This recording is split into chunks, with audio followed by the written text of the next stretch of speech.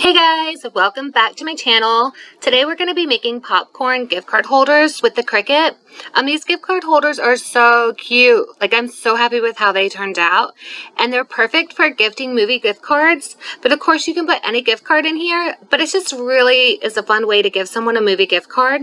Um, so to get started, go to my blog at svgnation.com and download the free template. I've left a link in the video description that's going to take you directly there. And then go ahead and upload the file and add it to your camera canvas. And if you're not using a scoring tool or you don't want to write any messages on your gift card holder, then this is ready to go. You can go ahead and cut this, um, but I'm going to show you how you can add your score line. So I'm going to ungroup everything. We're going to go in our shapes and select our scoring tool. And we're just going to turn this. If you hold down shift while you turn your line, it'll turn like in perfect um, increments so you can get that perfect straight line. We're just to stretch this out. No need to um, put it perfectly center. I'll show you how to do that. Let's see. I'm just to hide. We don't really need to hide that one, but I'm to hide these white lines because they're kind of in the way of attaching this. So I'm to select the score line and I'm to select this popcorn box by holding down shift. And we're to align this. And then we want to center vertically. Okay, and now that we've got it perfectly centered where we want to fold this, we can just attach. Okay, and now I'm going to unhide those. And if you want to write a little message underneath the gift card, um, you can do that as well by using Cricut pens. Um, so I'll show you how to do that. Let's just see. We'll write, enjoy the show. You can also write on it yourself if you have good handwriting. You know, you don't need the Cricut pens, but I'll just show you how to do this. Um, you can change your font. If you have Cricut Access, if you go over here to Filters and select by writing, you can choose any of these writing fonts. Um, and these are going to be your best font to choose because they are single layer. Um, I'll show you what I mean. Um, so you can see how it writes as a single layer right here. Um, but if you do not have Cricut Access, it's fine to use another font. So we're just going to find the ones that are already on my computer. Let me take away that filter. And we'll just find something that looks good. That one's cute. Um, I'm not a fan of how it's separated that, so I'm to put those on separate lines and get rid of that there. So now that you have your text, you can go up here and you can change the operation to pen. And as I said before, it's best to use the Cricut Access ones, but if you don't have that, you can use this and see how it is going to outline around it. Um, go ahead and hit weld for your font because as you see now, you won't have all those overlapping lines and I'll show and you'll see it again with this. You'll switch this to pen. Um, see how it's going to overlap and write on it? Um, if you weld them together, you now won't have those overlapping lines.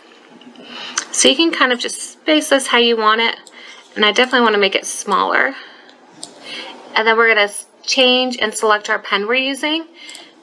Um, if you use a thicker pen, like I'm using one of these gel pens, you're not going to see the outline quite as much. It's going to fill it in a little more. And I just want to kind of have this as a little message right here. So when you take out the gift card, you know, has a little fun saying under it. You can space that out. And once you have it where you want it, just select all of your text layers and then select the layer that you want it to write on it and you're just going to hit attach. And that's so your Cricut knows exactly where to write as far as where it's going to cut as well. All right, so we're going to go ahead and make this. So just click on Make It. And you're going to be using your mat for this. And continue. Make sure to press your cardstock down really well on the mat. Um, you can use a blue or one of your used green mats with cardstock. I don't recommend using a brand new green mat though because it's going to be a little too sticky. Um, load your mat first by pressing the green arrow and then press the green flashing Cricut button for your Cricut to start cutting. I'm using a medium weight cardstock for this gift card holder. I don't recommend going any heavier because it will be harder to fold and a lot more bulky. Um, if you need cardstock recommendations for this, I've left a link in the description for a really good medium weight cardstock and it does come in a variety pack with different colors. And if you are using a scoring tool or Cricut pens, make sure to follow the prompts on your computer for when to add them. Your Cricut's going to pause when it's time to add them, and then once you've added them, just press the flashing green Cricut button to continue with the cutting process. Once everything is cut out, start by folding the red popcorn box in half.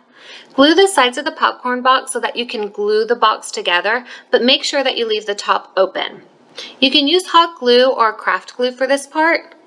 Then glue the white decorative pieces to your popcorn box. A glue stick or crafting glue is going to work for this.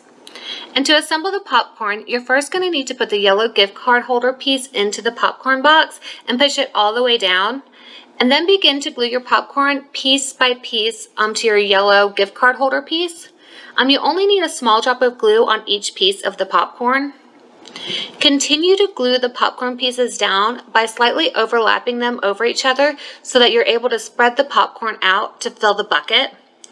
Um, it looks neat if you have some kind of overlapping the front of the box, but make sure that you don't glue any of the popcorn to the box.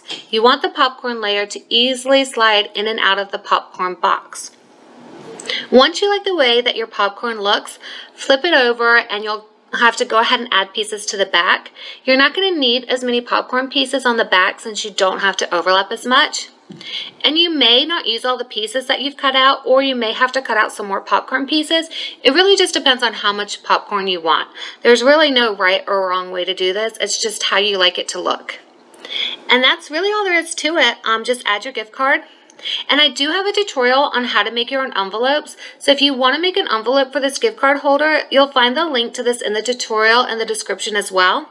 And if you guys have any questions, leave those in the comments and I'll answer them there. And don't forget to like this video and subscribe so you'll be notified when I upload new tutorials. And thanks so much for watching. Bye!